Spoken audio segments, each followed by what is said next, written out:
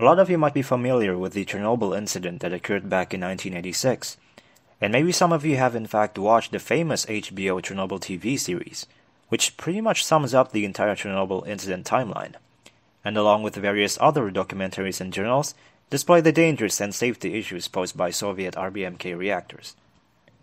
But have you ever wondered what RBMK reactors look like on the inside? Are you curious about how it works and its operational details? Well, today in this video, we will take a look at several design details of RBMK reactors and explore how they actually operate. Now, this might just turn out to be a very long and boring video, so uh, keep that in mind. So then, let's begin. The word RBMK stands for Reactor Большой Mощности Канальный, which basically translates to High Power Channel Reactor. There are two most commonly known types of RBMK reactors, the RBMK 1000 and the RBMK 1500. Both are moderated with graphite. There are also several other types such as the RBMK P2400 and RBMK P4800. Not much is known about these types of reactors aside from the fact that they have a rectangular design instead of cylindrical. So in this video, we will just focus primarily on the first two. The reactor that was used in Chernobyl reactor number 4 was the RBMK 1000, the 1000 in the name suggests that the reactor has a nominal capacity of 1000 megawatts of electrical power, and the reactor can operate with a maximum thermal power of 3200 megawatts. The RBMK 1500 is an even more powerful version and has a nominal capacity of 1500 megawatts of electrical power at a maximum thermal power of 4800 megawatts. An example of the RBMK 1500 type is the Ignalina power plant in Lithuania. Both of these reactors have nearly identical design and that they pretty much operate in the same way. There are only a few differences, mainly in the Control and Protection System section, or CPS, but we will get into that later on. The reactor core vessel of the RBMK 1000 is a steel cylinder that houses the graphite stack inside. The cylinder is housed inside a 25 meters deep and a 21 times 21 meters wide concrete vault, the core is composed primarily of the graphite stack that contains channels mainly for the fuel assemblies and control and protection system. The graphite stack can be visualized as a vertical cylinder that is around 8 meters high and 14 meters in diameter. The stack is made up of 2488 graphite columns that are constructed from various types of graphite blocks, which acts as the main neutron moderator. And just a quick insight, a neutron moderator is a type of material that is used to slow down neutrons, in order to make the nuclear fuel more likely to undergo a nuclear fission chain reaction. I will provide a link to the materials in the description down below, just in case if you want to know more about this stuff. Now, back to topic. The graphite blocks that make up the stack are rectangular shaped blocks with a base of 0.25 times 0.25 meters. The height of these blocks varies from 0.2 to 0.6 meters, depending on the placement. All of the graphite blocks have a 0.114 meters bore opening that is used as channels for the fuel assembly and the control rods. The core is also equipped with top and bottom biological shields that contain actual holes. These holes function to weld the water and steam tubes and connect them to the fuel and CPS channels.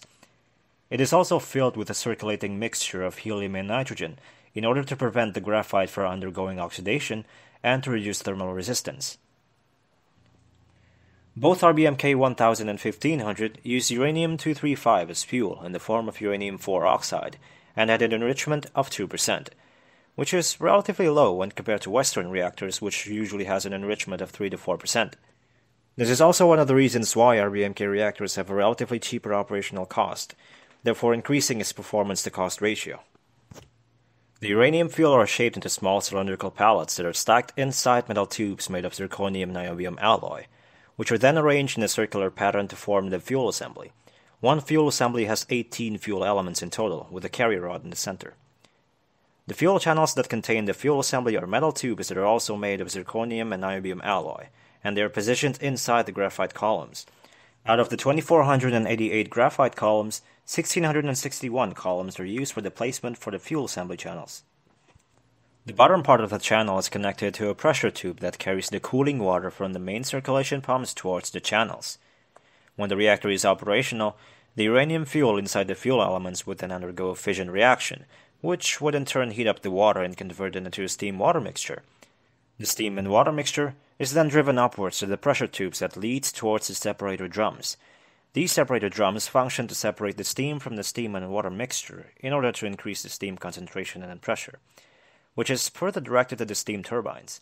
Both RBMK 1000 and 1500 are equipped with two steam turbines at least, which are located in the turbine hall.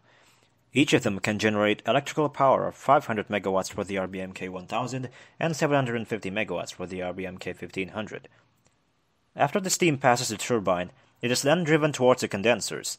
Each steam turbine has at least four steam condensers, which condenses the steam back to water, and it is driven back to the circulation pumps, creating a loop. Keep in mind that RBMK reactors have two parallel loops that act as the cooling mechanism of the reactor. Each loop consists of two separator drums and four circulation pumps, and each of them are responsible for cooling one half of the reactor. And this is generally how RBMK reactors operate in order to generate electricity. Now, it is also worth noting that in RBMK reactors, the water also acts as a moderately strong neutron absorber, combined with the presence of the graphite blocks acting as moderators. This basically means that as more water is being evaporated, the reactivity of the fuel increases due to a void that is being created in the presence of graphite moderators. This is also widely known as a positive void reactivity, and this is actually quite the opposite to the nuclear reactors that are made in the West, which have a negative void reactivity, which decreases the reactivity when more water is being evaporated. This is because water is being treated as the main moderator instead of graphite. Keep in mind that this is actually one of the significant safety issues posed by RBMK reactors in general. Now, let's talk about the control and protection system. The CPS of RBMK reactors is very complex, and it is responsible for maintaining the power levels and the prosecuting various safety protocols. The first thing to consider is that the outer columns of rows on the reactor layout are equipped with radial reflectors in order to prevent the neutrons from escaping the core. They are basically channels filled with a special type of graphite rods to increase the density and the neutron reflecting effectiveness.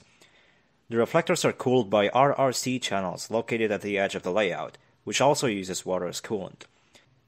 Another thing to pay attention to is the operation of the control rods. In general, the main purpose of the control rods is to control the reactivity rate of the fuel inside the core. If the control rods are inserted to the core, the reactivity decreases. If they are withdrawn, then the reactivity increases. In RBMK reactors, the control rods are placed in an autonomous cooling loop inside the CPS channels.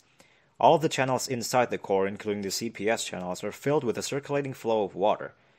This basically means that when the control rods are in a withdrawn position, water will fill the space in between, and again, just a quick note, light water is actually a moderately strong neutron absorber, which can reduce the overall number of neutrons in the core, therefore resulting in a reduction of reactivity. To solve this issue, the control rods of RBMK reactors use special water displacers made of graphite. These displacers are 4 meters long and are tipped at the control rods. So, when the rods are in a withdrawn position, the graphite displacers can fill the space instead of the water to further increase the uh, reactivity, making it a very aggressive method in controlling the reactivity within the core. RBMK reactors generally have three different types of control rods. The first one is the manual control rods, or MCR, which are responsible for controlling the radial field of energy emission. It consists mainly of two parts. The upper part is the absorber that is about 6 meters long. It is made of boron carbide and it's responsible for absorbing the neutrons. And the lower part is a graphite displacer. The second type is the shortened absorber rods, or SAR, which are responsible for controlling the depth-wise variations of energy emission. Now, unlike the MCR, the SAR control rods have the graphite displacers on the upper part instead, and they are also inserted from bottom to top, which is opposite to the other types of the control rods. And finally, we have the fast acting scram rods, or FASR, that act as emergency control rods. And unlike the previous version of the control rods, the FASR do not have graphite displacers attached to them. They fully act to absorb neutrons.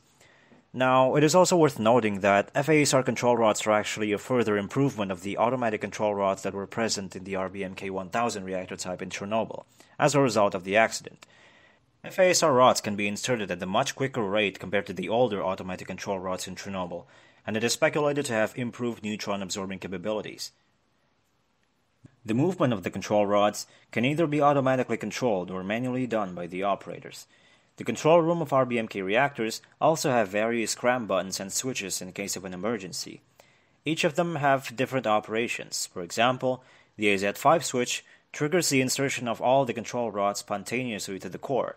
The BAS switch only inserts the FASR or AC rods. The CPS also consists of channels equipped with fission chambers and sensors for monitoring the power density within the core. In the RBMK 1500, the CPS also has an emergency process protection system, which consists of various safety operations in the events of accidents, such as a fuel channel rupture.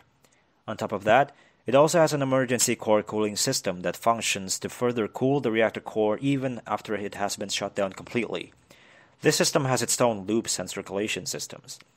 This is because even though the fission chain reaction has stopped, heat is still being produced by the radioactive decay of fission products and fuel elements. Therefore, further cooling is required. So, in conclusion, RBMK reactors have a total of 2488 graphite columns. In the RBMK 1500, 1661 are fuel assembly channels, 235 are CPS channels, and the other four columns are radial reflectors and RRC channels. The RBMK 1000 type seems to have a slightly different arrangement of the channels, but I couldn't find any reliable visualization of what the actual layout was actually like in the RBMK 1000, and so far, all I got was this model from Wikipedia, though I couldn't really confirm if this is 100% accurate, so keep that in mind. Now, ever since the Chernobyl incident, RBMK reactors received a bad reputation for having major safety issues. This is because, aside from the recklessness of the operators, the design features also contributed to the accident, mainly in the design flaws of the control and protection system. One of these being the AZ5. Remember, when the AZ5 switch is activated, it inserts all of the control rods spontaneously to shut down the reactor. However, at the time the reactor was already at the critical state due to the operators pushing it too far. On top of that, when the control rods are inserted, the graphite displacers in them would have to displace the remaining water and steam at the bottom of the reactor. Remember, RBMK reactors have a positive void reactivity, which means less water, more reactivity. This event caused a surge in power density within the core, which then causes the reactor core to explode. Ever since then, modifications to the reactors have been made. The positive void coefficient was reduced, the fuel enrichment was increased from 2% to around 2.4 to 2.6%, and finally the CPS and the control rods were redesigned and upgraded. The time for the insertion of the control rods were reduced from 18 seconds to 14 seconds.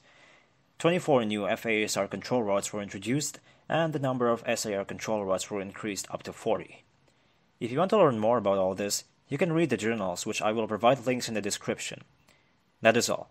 If you think I made a mistake somewhere, please notify me on the comments section below. And that will be all. Thanks for watching.